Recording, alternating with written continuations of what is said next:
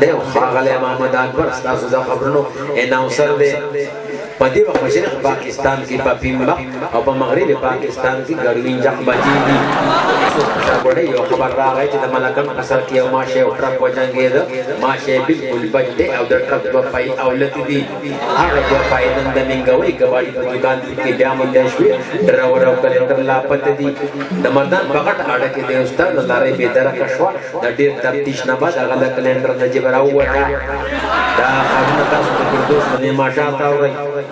په بل خبر کې لګی چې د باډوان نصیب په هغه د باډوان د ولسی مولوی و ټانګرا دی بوډا په مارای کې ون خطا بوډای د تر بوډا کو سره پاتم لاس د بلنګولې سولس پاتل تور سو د بېدرکۍ اعلان